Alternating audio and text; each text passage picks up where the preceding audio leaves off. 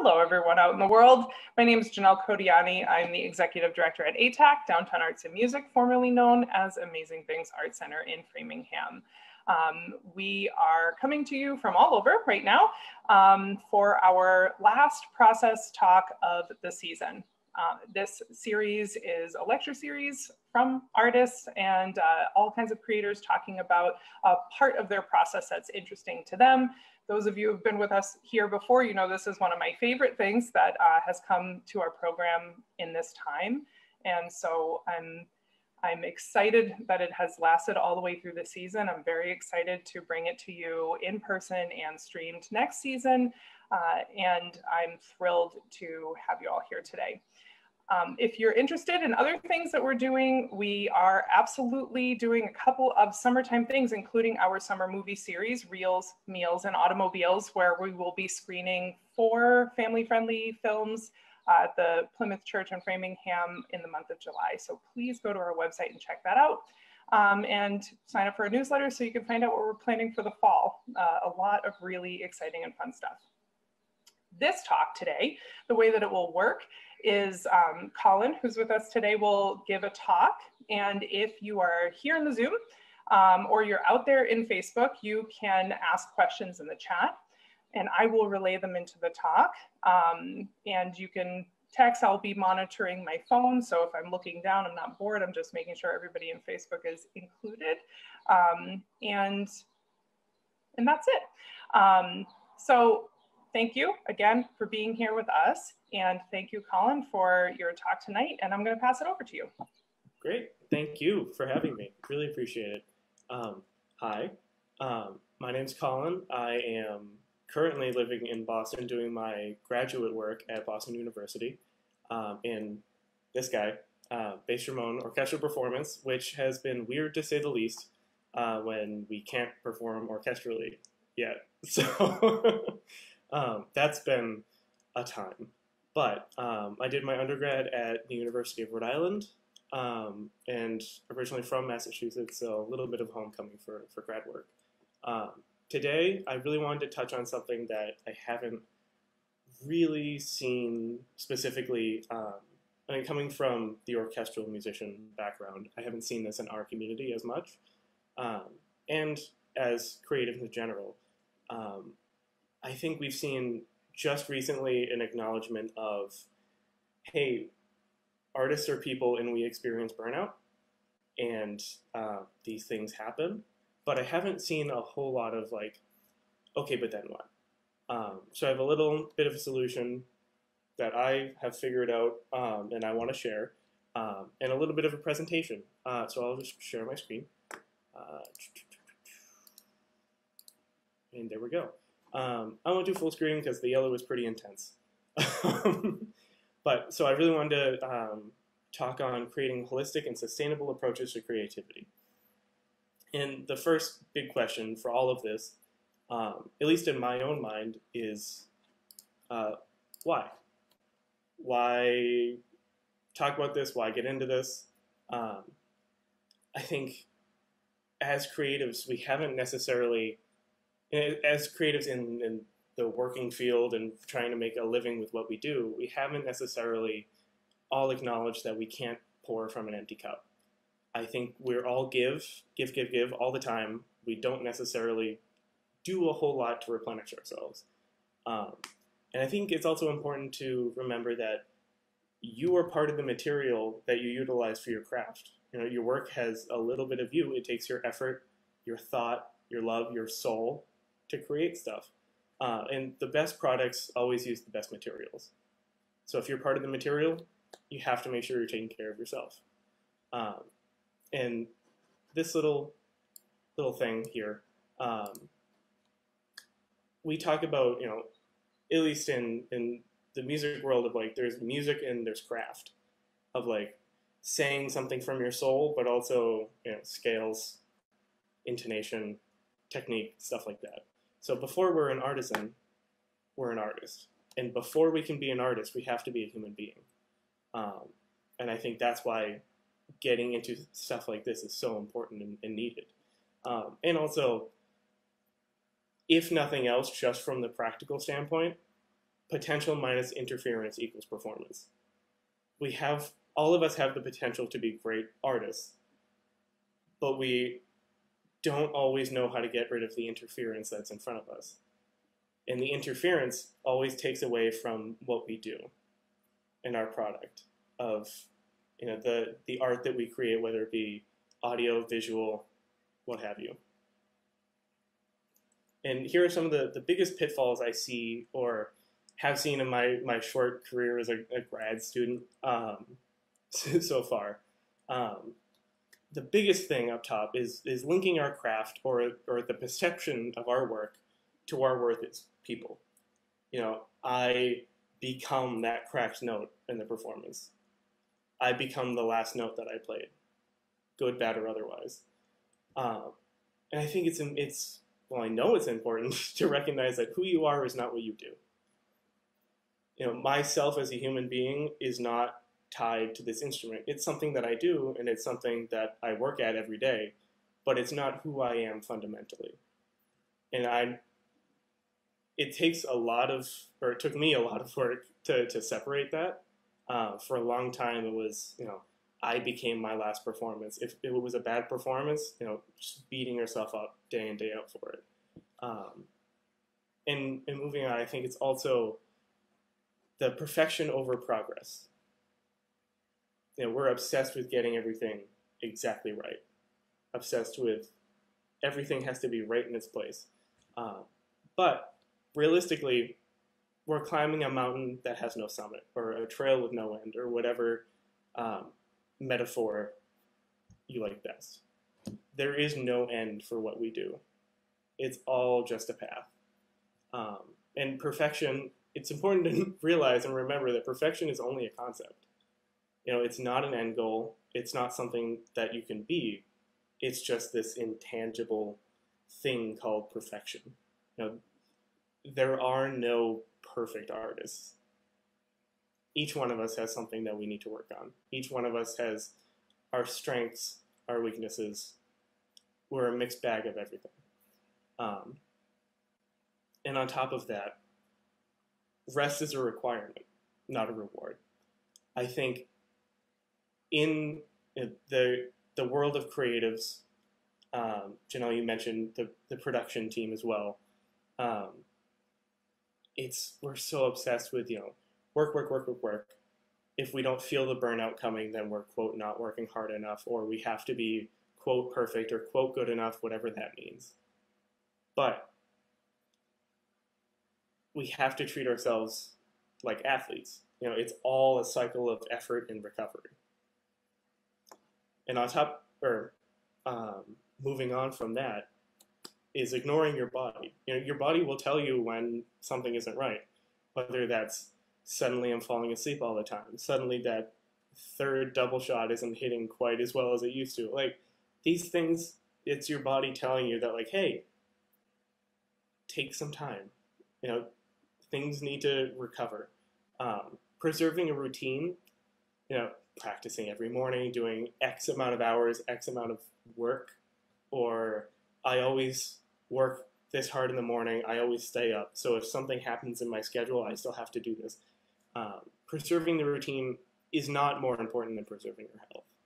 And that is the message of what I want to convey tonight. Of, you know, we are human beings that are doing this thing that people enjoy.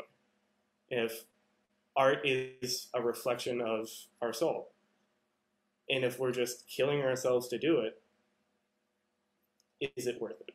You know, to make it worth it and to really make it as fulfilling as possible for both the artist and the viewer, the listener, whatever, that nourishment needs to happen.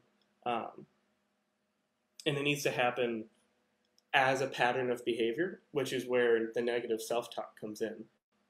Your brain hardwires what you tell it. Every time you say, Oh, I'm such an idiot, your brain hears that and goes, Okay, I'm an idiot. Classified, categorized. You know, I suck at this becomes internalized and wired into your brain. And your brain can internalize everything except the word don't. And I'm sure we've all experienced this. You know, when you're on stage or trying to do something with fine motor skills and you go, don't mess up, don't mess up, don't mess up. Nine times out of ten, we mess up because your brain skips right over the don't and goes, mess up. Um, and I'll get more into how we can maybe start to change that pattern a little bit of instead of just oh, I suck or I should be able to do this, changing that reaction to more of an additive thought process. Um, and another thing on top of that is you know comparing yourself to other artists or creatives or your work to other work, especially on social media. And social media is just a curated gallery that's been personalized that people want you to see. You know, even my own page isn't everything. And everyone's pages isn't everything. It's just the good and the, the cheerful that we want to portray to the world. Uh, but we can also look at that and go, this is this person's life. Everything that they do is so good. Why can't my life be like that? You know, um, and it it can get heavy. And I, I think that is where the shouldisms come in.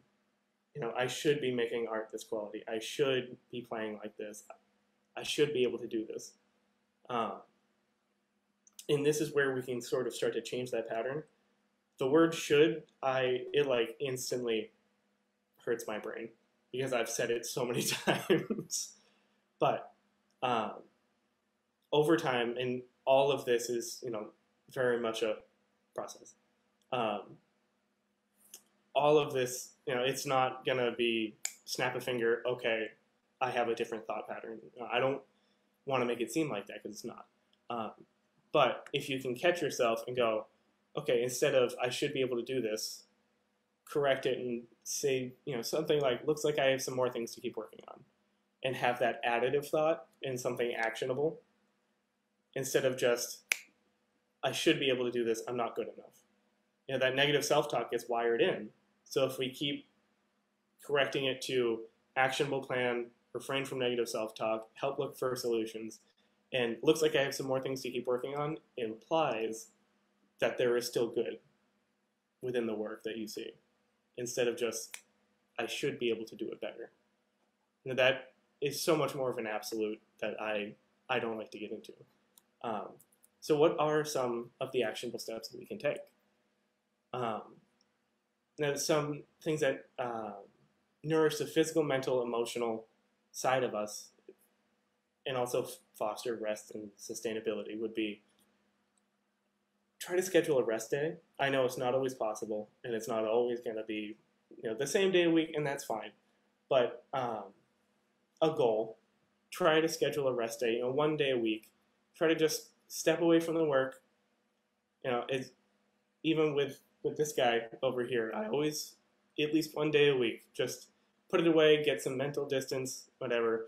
I love to play, but also just like I said earlier, just like athletes, we have to operate on a cycle of effort and rest. You know, the the Olympians and the athletes, we see them exercising all the time and working out and all these like workout videos, but they don't live at the gym. They have lives, just like we should have lives.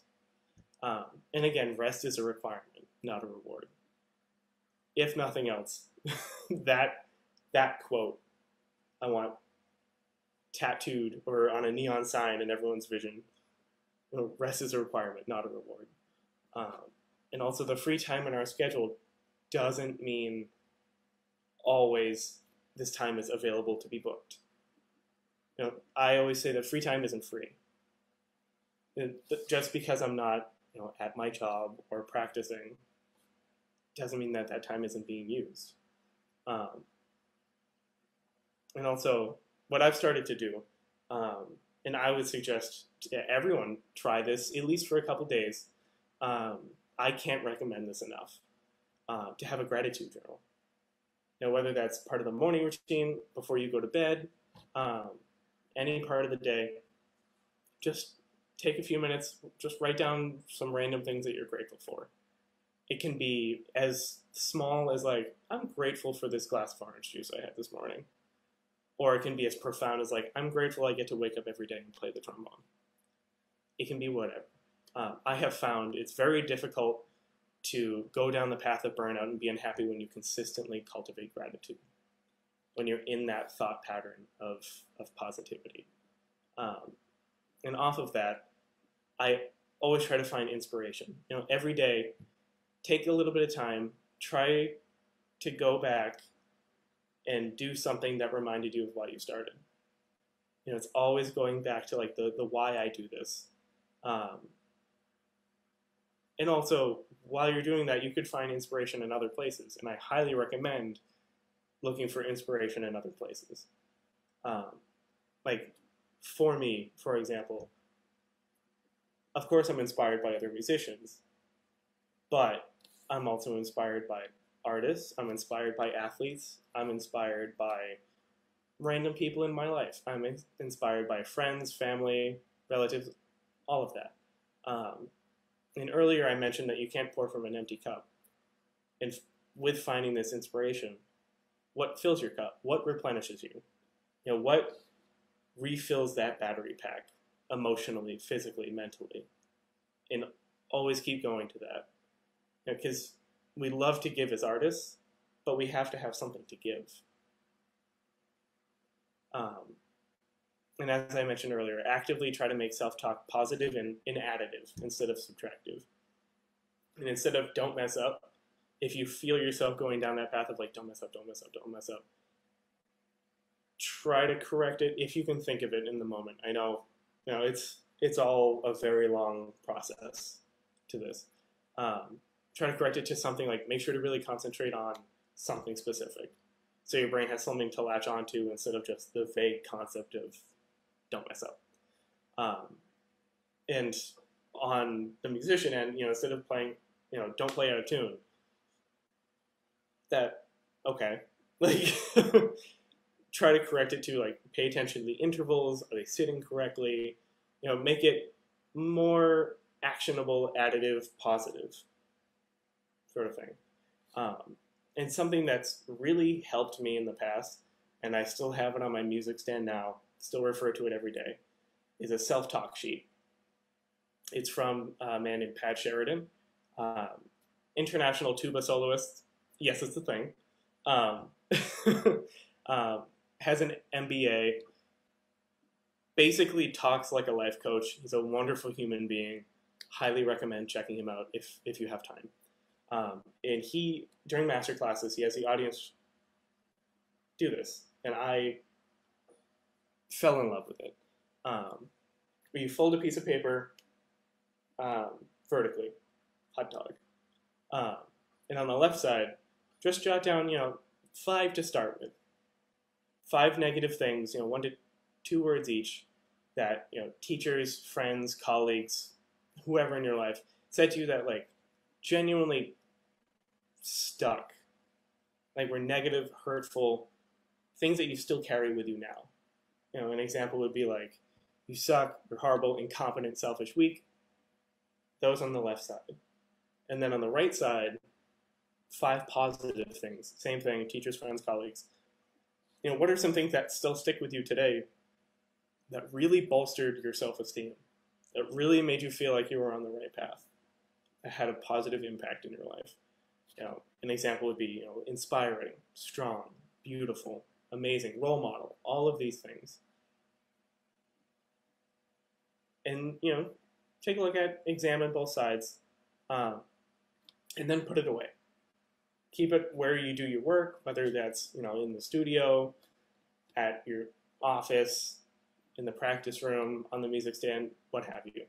Uh, when you find yourself, you know, that, that little moment of clarity when you're in that like cycle of self-talk of like god i'm such an idiot like that sort of thing if you catch yourself in that take a look at the negative side of the paper and acknowledge that like this is becoming a rehashing of all the negative things that have stuck with you in the past. And really it's just going back to that mental space and regurgitating what people have told you. But you can also regurgitate the positive things that people have told you as well.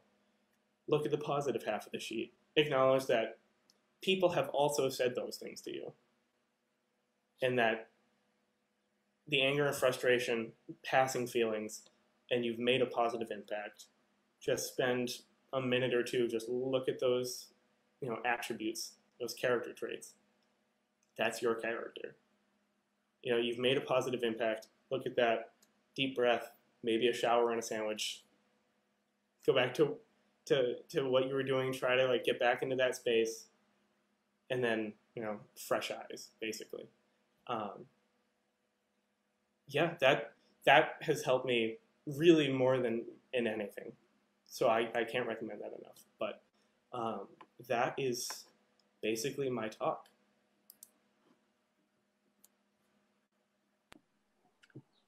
That was really, that was really, um, I definitely felt a lot of those things personally. Um, I'm sure that lots of the folks listening do because um, as you said at the top, it's kind of part of the it's a feature. It's a feature of the, uh, mm. mold, I think. Um, I think too, especially after this year, where artists and creators have found themselves either out of work, scrambling to present their work in a different way, you know, finding finding in some cases in a completely different industry um, mm. support themselves and their families.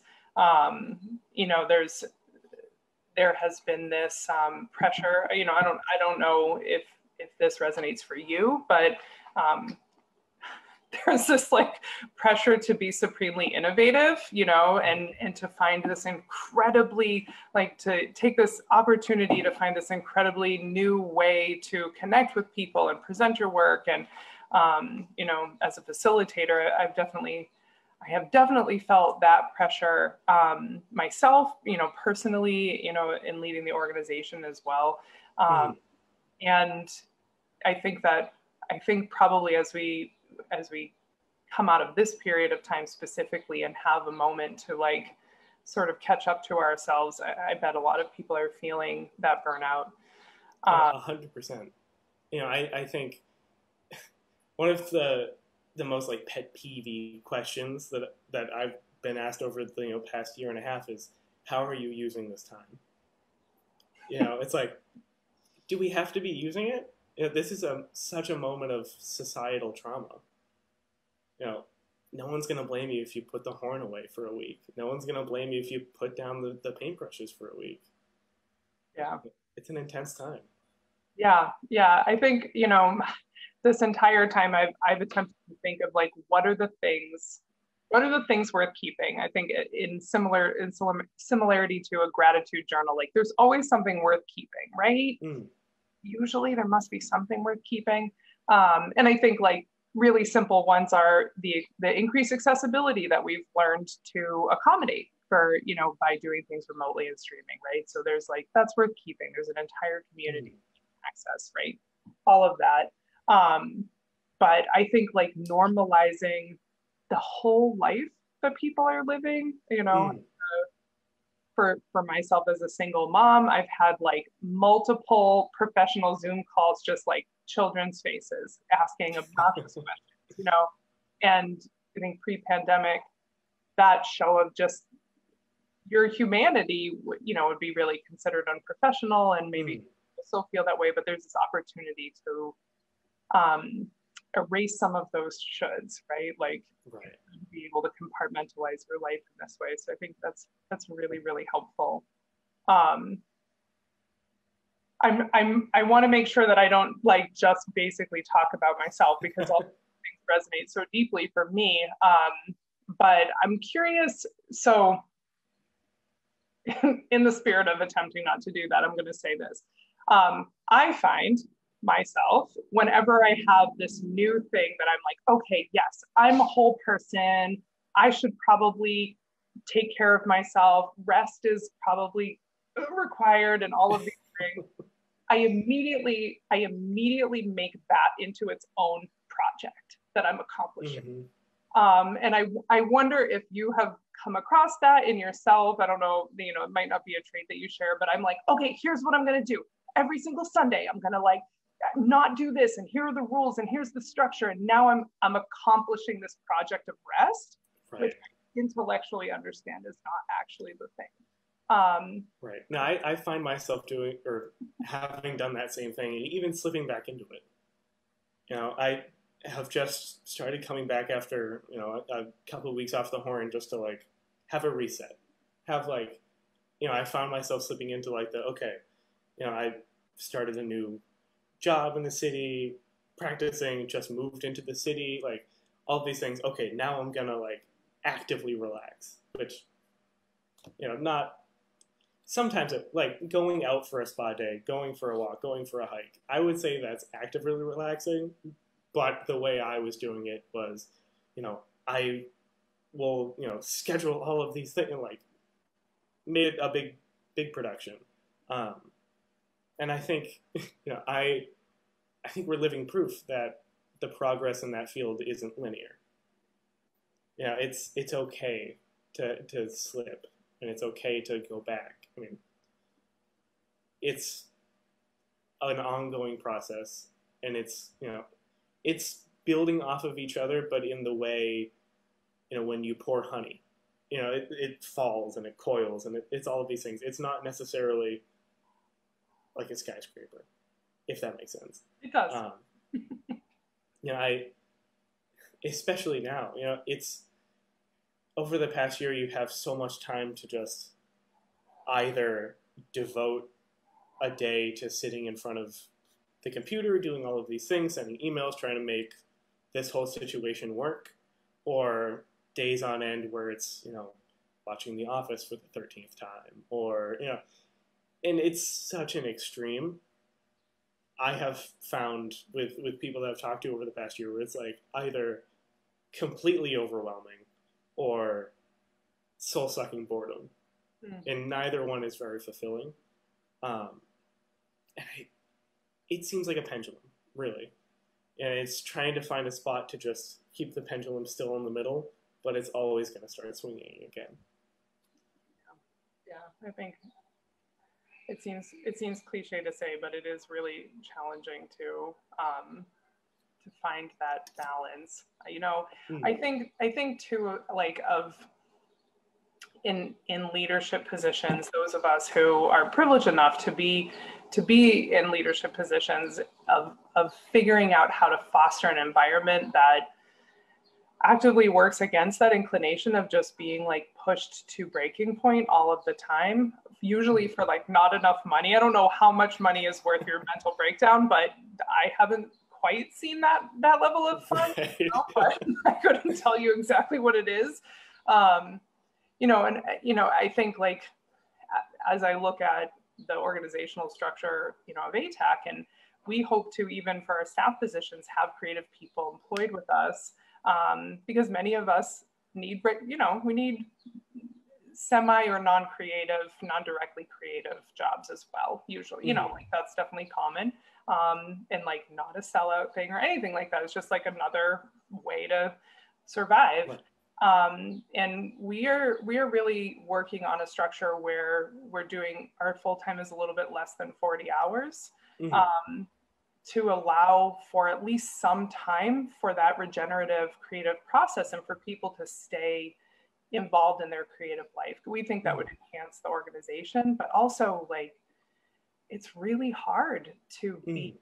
creative without regeneration time, you know, Definitely. like quiet the quiet time of your mind and thinking about rest being a requirement and not a reward is like makes me physically nauseous but um you know just just because of how i'm wired i think but i can i can see that that's true. And i know in my own creative experience that when i when i don't have time to not be thinking about a task that needs to be completed i like it. I don't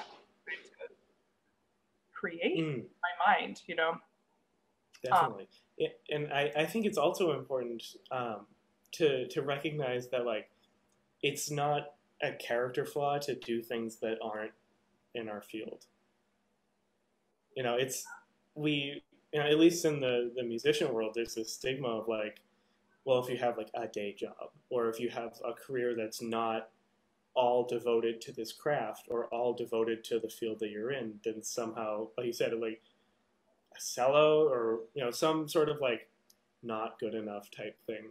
It's like I specifically went for jobs or applied for jobs that weren't in music just so like they're a foil for each other. Yeah. Yeah. You know? It yeah. can still be a passion and it doesn't have to be, you know, like the 9 to 5 accounting job. Like it doesn't have to be I go into a cubicle and then type on a computer for a job I don't like and then I can like it's like well, they can both feed each other. Yeah, yeah. I, I have a very good friend that um, you know works in in database things. Um, she's mm-hmm. extremely talented performer and writer, and she loves that other work that she does, and it facilitates you know the other portions of her life. She's definitely a professional writer. You know, she's published and all of those things but they they complement each other either by literally facilitating your ability to live, you know, mm-hmm. like have a roof over your head or all of that, or like time away to reflect. I know what I had a job um, at one point as the as a maintenance person for a conference center, and it was like one of my favorite jobs. But I was out literally in the woods building and fixing things all day, and it was one of the most productive writing periods that I'd had because mm-hmm. all day my brain didn't have to like. I just had space to like come up with my stories and like mm. solve writing problems mentally and then i could just sit down physically exhausted and write you know so i think that is it's it becomes challenging to sort of like facilitate that on your own um right. what you said about free time not being free and like not thinking of oh there's a hole in my calendar like what can i fill it with something to do you do have something to do and it's like allow your body and your mind to right. regenerate you know um, right and and we're never i mean no one is ever going to get to the point where all of these plates are spinning perfectly you know we're not going to get to this place where like okay i have now mastered rest and recovery and i am now you know physically fit emotionally well mentally completely like it there's never going to be this moment where like okay i have self actualized now i can create my art for the world. And it's always going to be you know this juggling game of like okay like what what needs more help? Do i need more like do i need to focus on mental health you know emotional well-being or is my physical health slipping? Or you know just like you said with the the working in the woods versus writing it's like okay this is not it is a physically laborious job, not necessarily mentally laborious. So now, once I'm physically exhausted, now I can engage my mind and, and, write and feed my art while recovering the physical side. Yeah.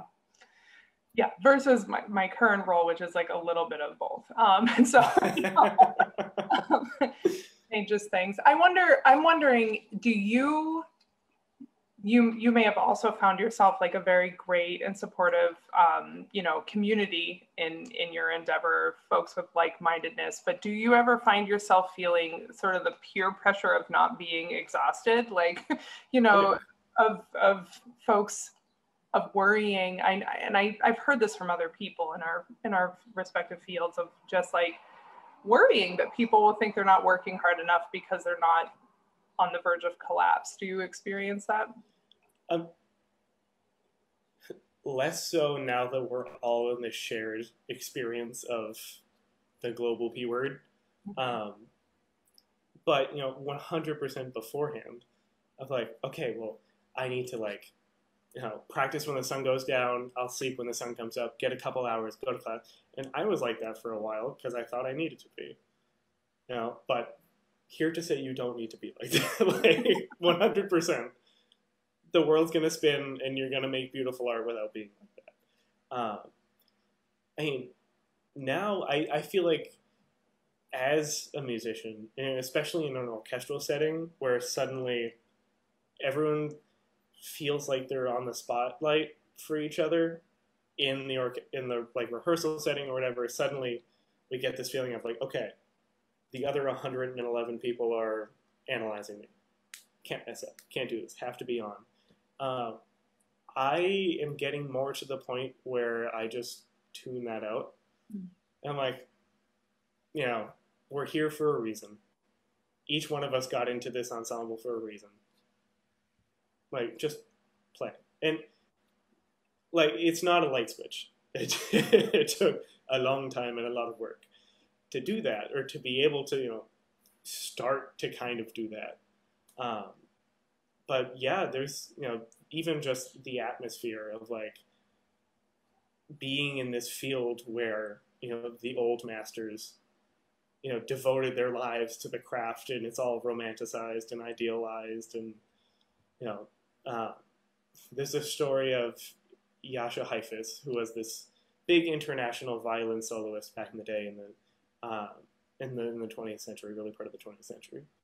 Um, and he you know played the solo woman comes up to him after the concert and goes I would give my life to play like you and he goes I did it's like great. I don't want to do that. Right. Like, yeah, I maybe, maybe, that worked for Mr. Heifetz. It's not going to work for me.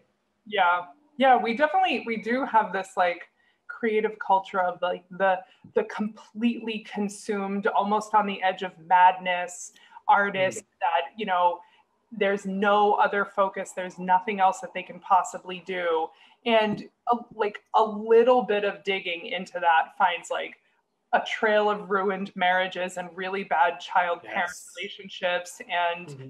or you know like also obviously like funds to facilitate that or also actual mental health you know crises um, and I think it's I, I also think it's like really fair to acknowledge that for some of these, I don't know the the backstory of this violinist, but um, I definitely know other artists, you know, particularly like photographers that I studied when I was younger. Um, they had oftentimes these were men and oftentimes they had women like facilitating their mm-hmm. like nonsense you know they're like creative nonsense basically um, and we're all like oh my god so incredible um, but they were really those achievements and that single-mindedness was like facilitated by the labor of folks who mm-hmm. aren't in the spotlight you know um, and, and you got to think too, like how delicate is that that pattern of thought? You know, it took this person's entire life and the consumption of almost who they are, but then you still need this team of people to blow smoke, right? In order to feed what's happening, like I I would much rather be not at the top, but a happy and fulfilled human being, making art that I'm happy with like I'm I'm completely okay with not being you know, the best or at the top of the field or having everything be perfect. Yeah. If it makes you happy and it makes you feel fulfilled, then what else is there? Yeah.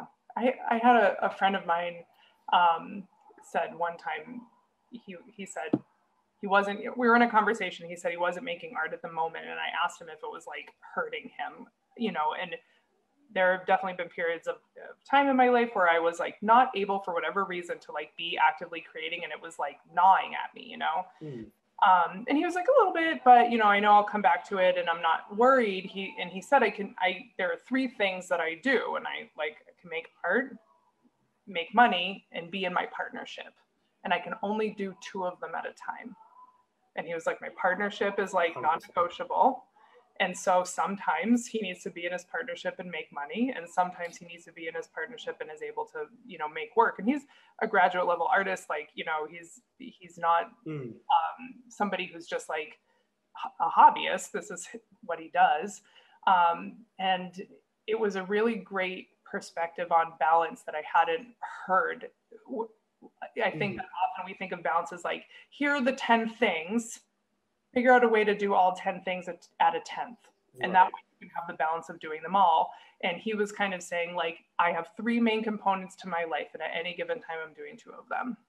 Mm. You hmm. know, and and it reminds me of, you know, that that reminded me of what you were saying as far as like maybe you don't get to be the like singular person, the singular face next to the word, um, but you get to have like friends and you know like nice dinners and maybe a hike and like your Mhm. family is around, you know, and your children don't hate you. I don't know. Um, yeah, so yeah, all of these things cost something. right, right. Yeah.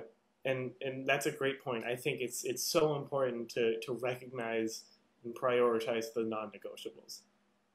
You know, I think too many times we get so wrapped up in what we're doing as creatives, or just getting it done, or you know, just our current project versus upcoming projects, for, that we forget and lose sight of like, a why we're doing it, and why we're making this art in the first place.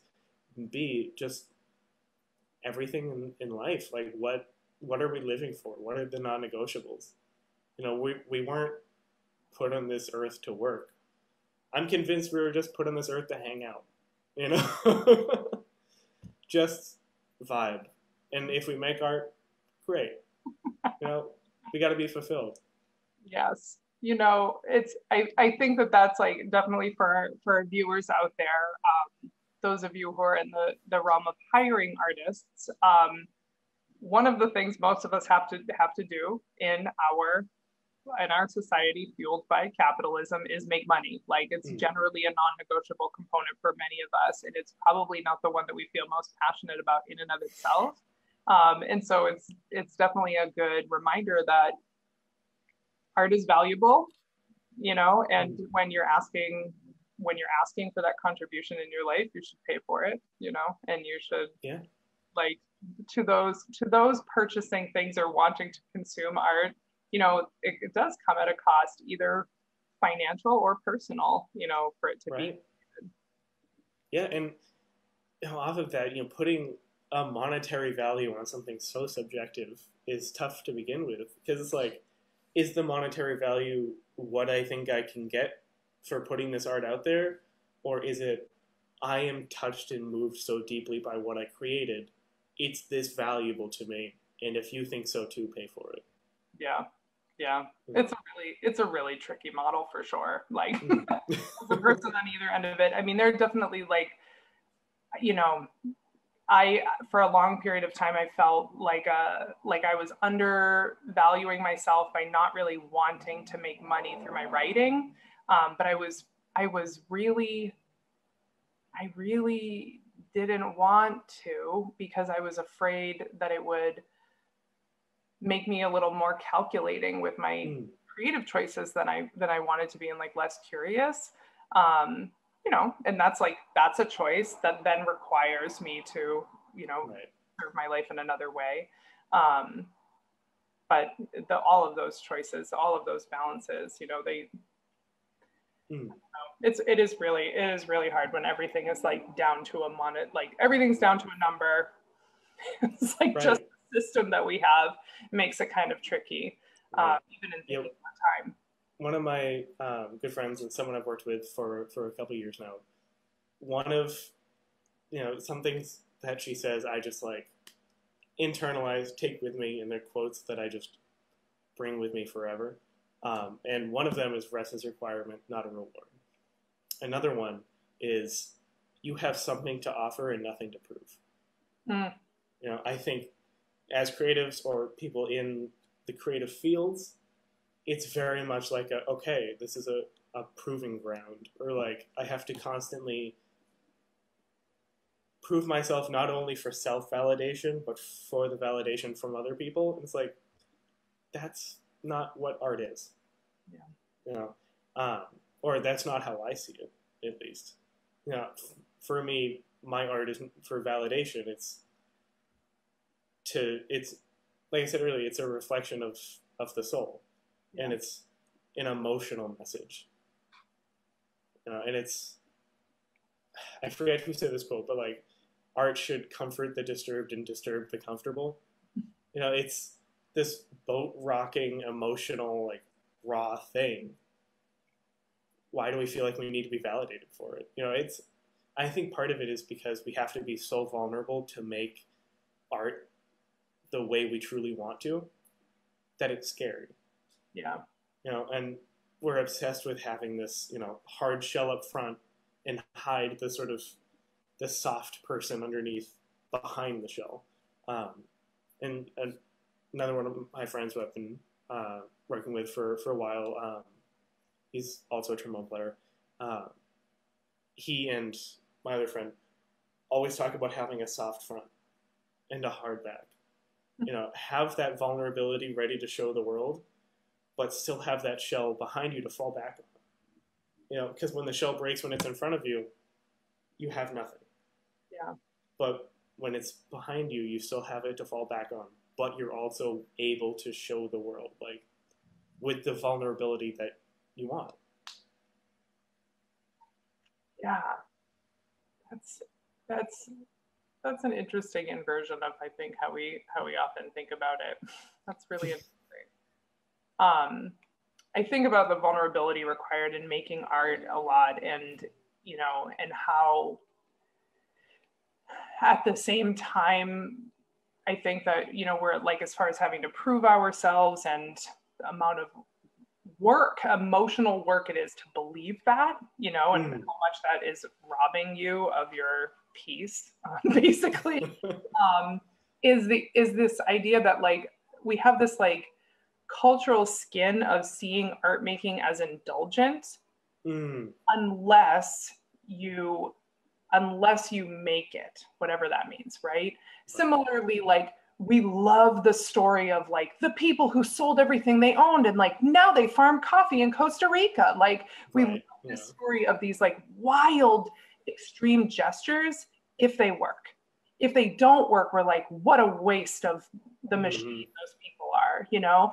And I think that artists attempting to live uh, like a, a, a balanced life you're dealing with this idea that like making art is indulgent and somehow robbing the rest of the culture from your labor um, and your mm. contribution while the vulnerability and creativity is like revered and people will often say like i you know i would never be able to do that or it's so amazing that you can do that and blah blah blah blah you know all of those things um, and it's like a lot of mixed it's a lot of mixed mm-hmm. signals from the culture so this courtship is like filled with a ton of mixed signals you know right you know, and as artists to begin with, we're doing something, at least in our society, controversial. You know, we're not getting the nine to five. We're not, you know, getting paid biweekly, consistently, saving up for the 401k. Like, it's not this controversial, like, 1950s American dream or whatever yeah. thing. It's like we're devoting our schedule, part of our vulnerability, and part of our time, effort, whatever, to do this thing that we find fulfilling or that we want to share with the world. And that's where, you know, this unconventionality and, you know, controversial gesture comes in. It's like, it's going to be mixed no matter what we do, whether or not, you know, it's just something on the side and then the the hardworking art community sees this as like, oh, we threw stuff away and we didn't work hard enough, or if we do the big grand gesture and something crazy, it's seen, you know, almost equally weird from both sides of like, how could they just throw this away, or they had they were comfortable, like what? Yeah. So I mean, at that point, it's like, well, then what do we do other than just what fulfills us? Yeah. You know, the only constant in all of that is what we think. Yeah. Yeah. It makes me think of um you know, you know, like in in Buddhism, um, and I'm not a Buddhist, so I'm paraphrasing probably terribly, but you know, there's a difference between like the person that gives up their life and goes and lives in a monastery and they're following the precepts all of the time and that's their full existence and then there's like another set of rules for the people who are like have a family and and run mm. town businesses like they they need to follow different uh, they need to practice those values in a different active way because they're mm.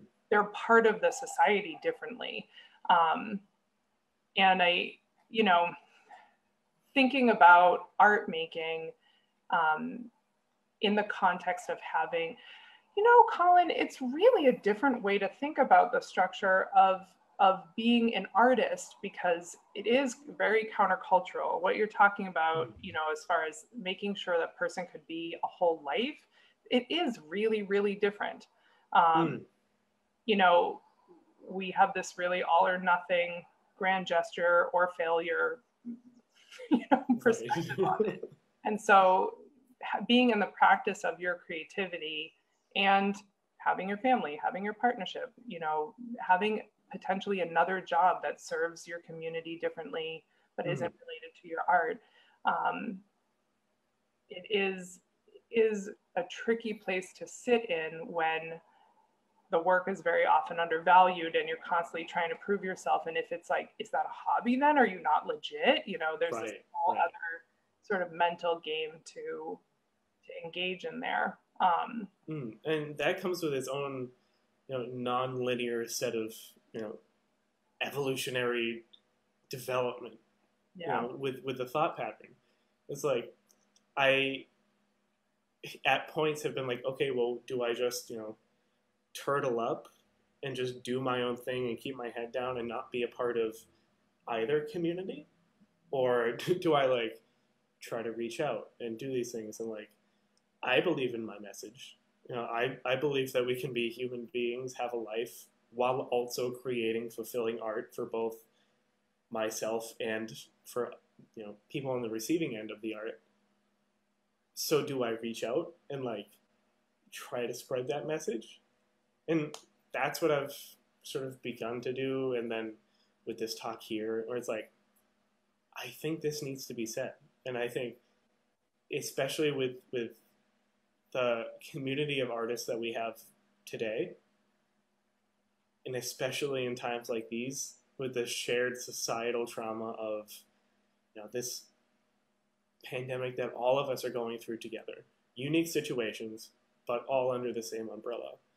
Where it's like okay we have a second to just now we're not i mean now we're getting back into it. But for the past year and a half we haven't been actively you know hustling grinding like any of that while also juggling the plates of this entire life while also a day job, while also art.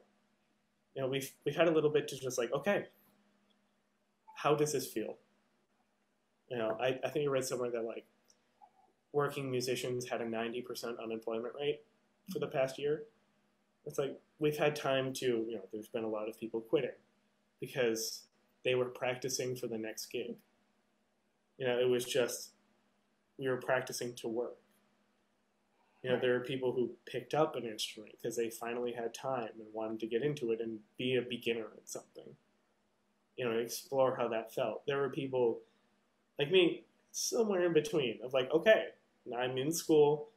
I have been in this environment of practice for the rehearsal, practice for the lessons, practice to have a product. So now what?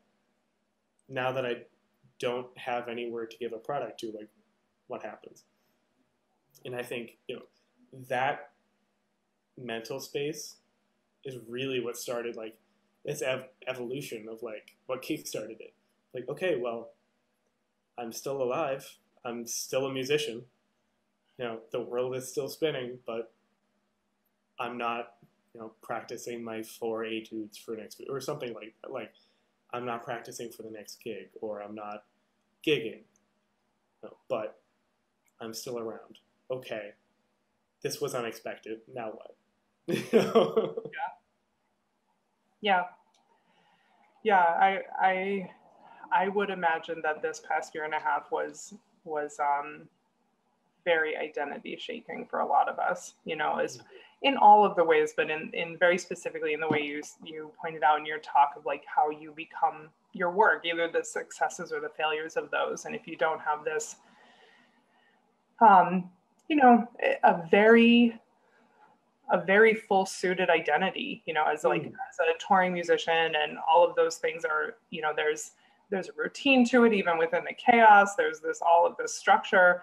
Um, people that you meet and interact with, you're like constantly sort of pitching who you are and where you've been, and like mm. it's a very concise, um, you know, experience. And right completely without that. I know some people for the first time in like many years um, to have to reconcile with that is a whole process in and of itself. right.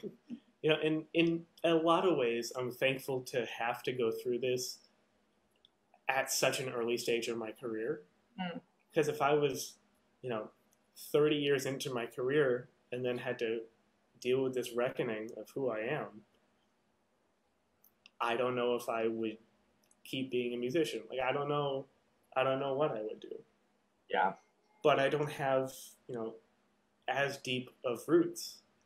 You know, because I'm still in grad school, just moved to a new city, like all of these things where it's like, okay, I I I think for someone in, you know, especially students that are studying art and getting ready to get into the workforce when slash you know, whenever it opens, um, that like we're in a unique position yeah. compared to a lot of the established artist community.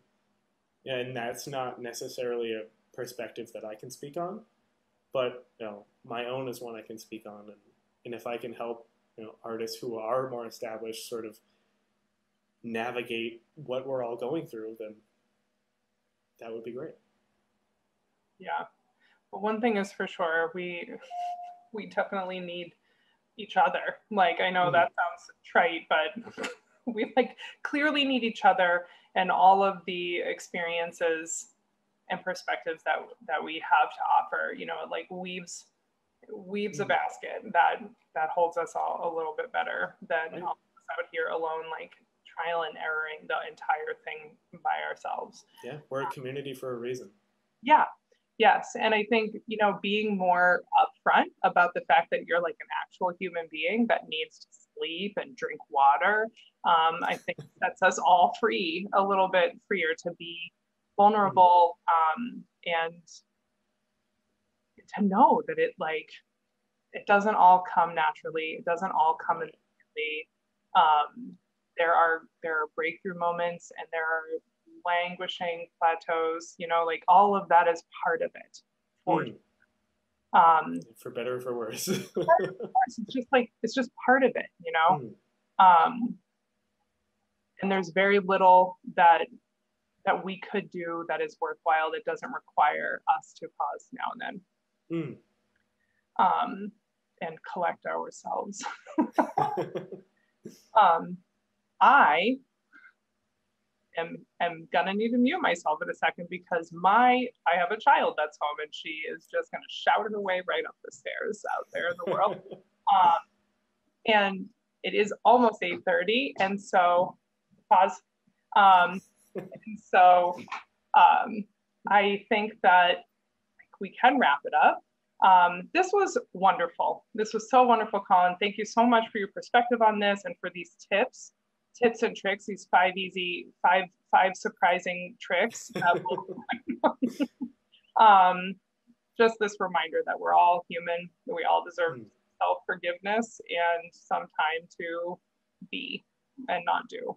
Um, Thank you so much for having me. Really appreciate it. It's totally a pleasure. If folks are catching this talk after um, and they want to they want to find you, where can they do that? Uh, the easiest place is probably Instagram um, at T Y R R E L L C A. I know a lot of double letters. I, I, didn't pick it. uh, just the name. Um, but yeah, feel free to DM me with any questions. Um, I'm also on Facebook. You can find me there, um, but the easiest place is probably Instagram. Great.